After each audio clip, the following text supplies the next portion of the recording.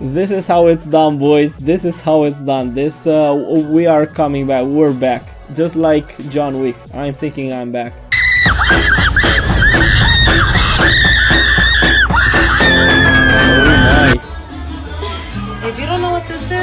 need a Latina mommy in your life, you feel me? Those are empanadas. Don't fall for it, boys. That's how they trap you. Help. Coming! Hey, Shotty, be for real. You didn't want your boy when I was down.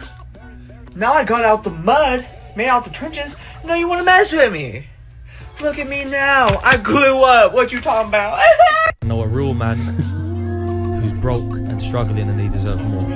I know a fake man who got money and is living life.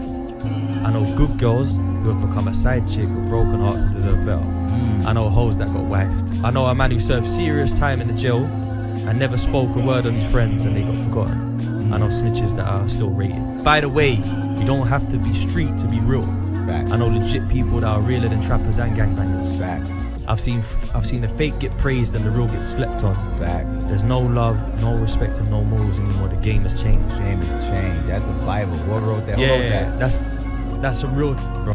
at the end of the day yeah life it, it is what it is it is a roller coaster of emotions and all that and if you have the drive if you have that thing in you you have to learn how to navigate and it's gonna happen through failure and mistakes and that's it just toughen up Girls,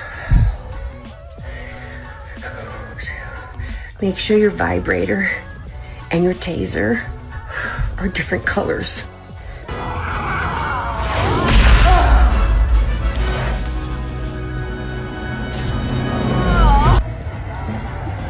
Hey! Ew! You Melinda from Tinder? Do a 360 for me real quick. Sometimes may be good, sometimes may be shit. You want to see if you're a brave person, what they call the four o'clock in the morning courage, wait when things go completely to pieces, when things are the worst, when your very best deal falls apart and your rent is late and you're tired and you're sick and everybody is mad at you and your car doesn't work, then it's the person that picks themselves up and says, Nothing is going to stop me. You know, the best quality in the world that you can develop, and I give it to you because I have made it my life's habit to develop this quality. I hope I've got it, I don't know for sure. But the quality is to develop the quality of being unstoppable. Develop the quality of being unstoppable. Say in yourself that no matter what life throws at me, it'll never stop me. No matter how rough it gets, I will never quit. And nothing will ever stop me. I mean, Brian Tracy here is okay. I know that uh, for a lot of people they might seem like platitudes, but life is just that simple in a lot of ways. So it's about action. It's not about plans and uh, being complicated with just simple, pure, unrelentless action. How you doing? Give me a hug. Okay. Give me a hug. Stand up, stand up. Don't pick me up though. No, no, no. Okay, okay, my bad, my bad. I I'm knew not- you was look, saying with look, it. look, I'm not I had even. Look, look. I'm gonna be fucking honest. I'm not even worthy. Ah, you idiot. What idiot. What do you like about him? Everything. He's Really? really polite. He's honestly, he's he's like the realest person I've ever met. Even though he's doing all this Catch your shit, like we're nigga. drunk, That doesn't make sense. but like on some real shit, like he really cares for me, and he's really a good person. On Uh, this poor guy gets eaten like a chicken wing every single night. Like it, I look at him and it's like, man, you really like being pegged, isn't it? Like you like to almost be murdered every single night. Why are you popping bottles? What you celebrating for? What you going out this weekend for? You ain't completed nothing this week. You ain't made no money this week. You ain't completed no tasks. You ain't, ain't knocked off no goals. You outside. You going to kick it with your friends. You going to get drunk. Sit your ass in the house. You ain't did nothing. Nothing to celebrate. What the hell is we celebrating you outside for? What you outside? Oh, we gotta live life though. Life isn't promised. What the fuck? You gonna say that for how many years? How many how many how many years you gonna say that? You motherfucker 30 years old, you still saying the same shit. Life ain't promised. 100% agree. You gotta have something to show for. Don't just go out there pissing away your uh, life savings or whatever just to have some fun or whatever. It's like all these things just come and go, especially like and you're not gonna be getting a lot of satisfaction just because you spend a bunch of money uh, on weekends. Like th- th- that's not how it happens. I have banana peel on the ground. I'm gonna see if it's really slippery like it is in the cartoon. How old are you? 31. And your, your ex-husband did what? He's a doctor. He's a psychiatrist. And how long ago were you married? Up until three years ago. Okay, Great. Why'd y'all divorce? My husband got sick with cancer, and that changed him, and it changed the dynamics of our marriage. What? Is he in remission? Yes, he is. And who filed for divorce? I did.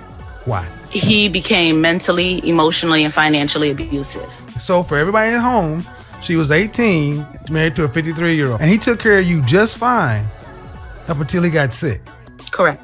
And then when he was fighting for his life, you became a snowflake. Did you have to work when you were married? No, but I no, you didn't have to. No, no, no.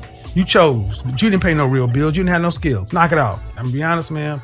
This is a whole mess. Better go back to your husband. That's all you got. And how tall are you? I'm five four. How much do you weigh? 180. That's a huge bitch. Five foot four and 180. Honey, you're built like a fridge. Goodbye.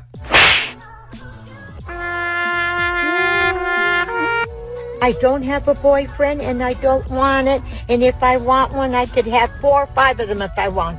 But I don't want to associate with nobody. I know she's saying that for fun, but I, I don't know. As long as she's not dying alone and she has some uh, grandchildren, I think she's fine.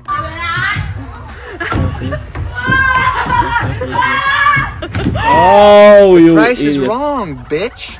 How y'all niggas out here buying these bitches colorless and all that? Y'all just push y'all grandma to the back. My grandma is ah, my grandma house 1.6 or some shit like that. 1.7. I'm pushing up. And motherfuckers, she called me every day after I bought that house. Thank you. I love you so much. It made my heart get warmer. Exactly, 100%. How many men are out here going to expensive dates and doing all this stuff, right? And just being clowns. Maybe someone is gonna love them or hug them while their mothers and grandmothers and aunts or whatever are just suffering. And they could use some help any type of help financially physically emotionally. And you are just neglecting your own family for your own uh, pleasure. Uh, it's cringe. Just knock it off bro Hey everyone, Oh I wanted to God. just give a little bit of a life update on Yeah. kind of what's going on with me. What The now, my family I'm being evicted from my house now. Immediately, but what, what we allow you to do is get an overnight bag. All right, so Right. we'll, we'll go inside. If you can get some of your things. I have to leave with you? No, you can, you can drive away. No, no, no, no, no, no, no. What I'm asking you is, I have to leave right now. Correct. Yep. So you can go inside, gather up some of your things. We allow you that courtesy. And do you have your car here? I do. I do. And then on your own accord, you can leave here. Okay? So you're gonna leave, and I can leave after you leave. I just have to leave. We're gonna leave. No, we're gonna leave with you. We're gonna leave together. You, you definitely have to leave today. Okay? Got you. So what we'll do now? Go inside. Mm-hmm. Get some of. You need this back. What's that? This. Nope, that's for you. This is me. Yep. This is me. That's officer, and that's officer. Can I see your eyes, please? Is that okay? All right.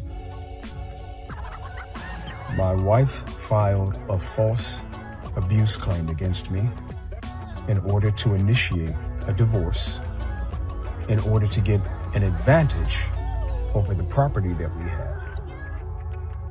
Out of nowhere, she just filed a false abuse claim against me and had me evicted from the house.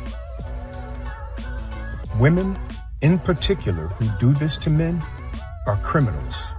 Yes. They are dangerous. They Yes. are criminals. yes My understanding now is that this is a strategy that many women will employ. women that do that belong six feet underground that's where i'm at and i'm not gonna change my position because it is what it is